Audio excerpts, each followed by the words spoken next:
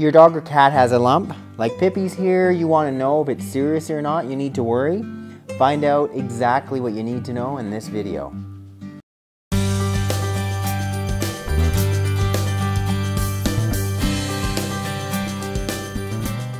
Hello you guys, welcome back to my channel. For those of you who are new, welcome.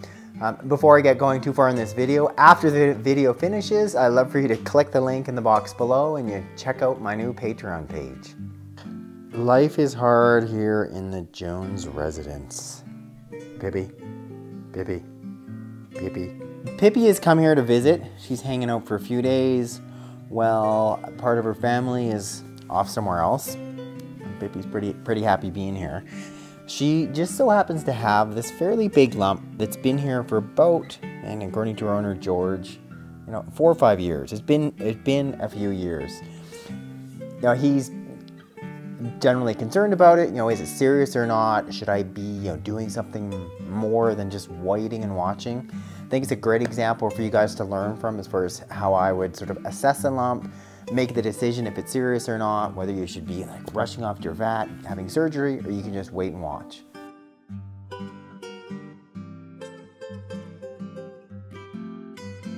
So, Pippi's lump is, so it's a moderately sized movable lump sitting here over top of her right carpus or her right wrist. There it is there, little pipster.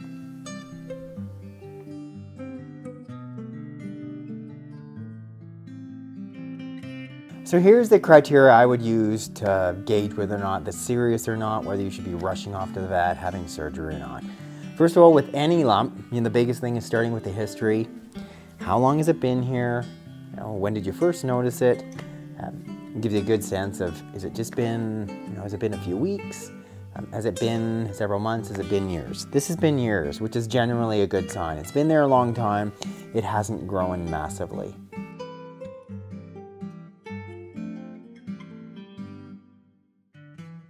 My second gauge would be assessing, you know, just how quickly is this growing.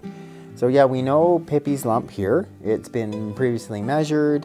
Um, it's about, you know, two by two centimeters, you know, say about you know, three quarters of an inch by about half an inch.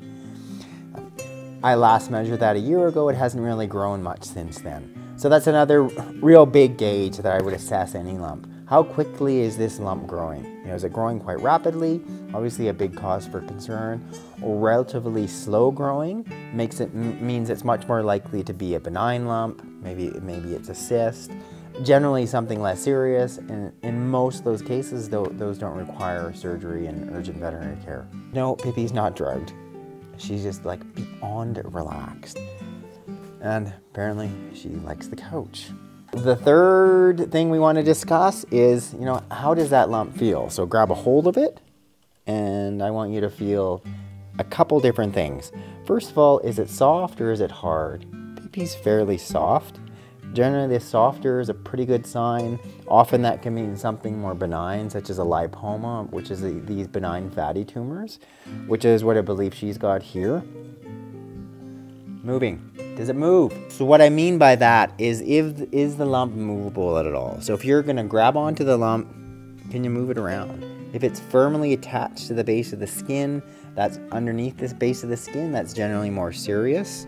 The lumps that are easily movable, they're the ones that are generally benign. The ones that are really firmly attached, you know, underneath the base of the skin, they're, they're the ones that are more serious.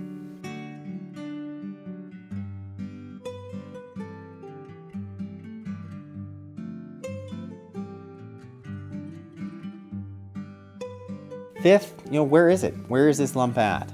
Um, typically things like lipomas, they're more common to occur along the side of the chest wall especially in our medium and larger breed dogs. Um, Pippi's a lab, she loves food. I expect would expect her to have a, a lipoma or two, but there are these benign, benign fatty growths, so where, wherever there's these fat cells or lipocytes. As a sort of benign veterinary rule, generally the cysts, uh, the lipomas, they typically occur al along the body walls, you know, so on the side, maybe in the back of Pippi's head, um, the size, size of her thorax, size of her abdomen, maybe up here towards her rear. um, less commonly occurring on the limbs. Um, for whatever I found in veterinary practice, more often than not, some of these lumps that would occur on the, occur on the limbs um, tended to be more serious.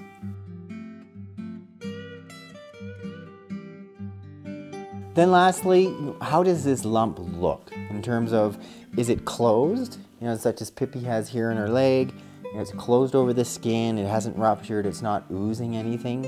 Um, generally, that's a better sign too.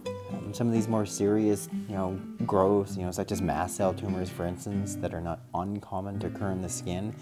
Um, often they'll open up and rupture, they can be red, oozing, and weeping. And that's more common a sign of something more serious. the last thing I want to discuss were the cysts.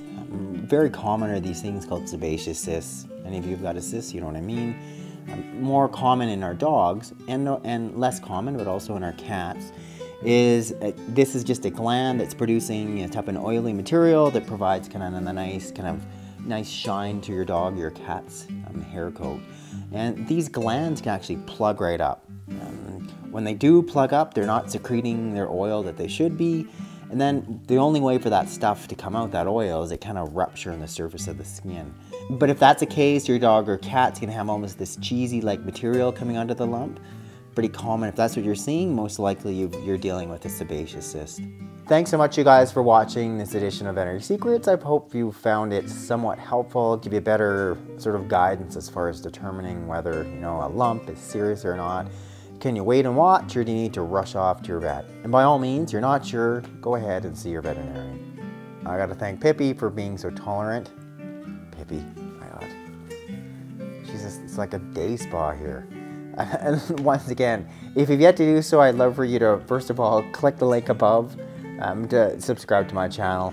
Click the link just off right below and you can sign up for notifications. When you click the link further in the box below and you sign up for my newsletter, I can send you my free books and my free videos on how to heal your pets at home with my top natural remedies.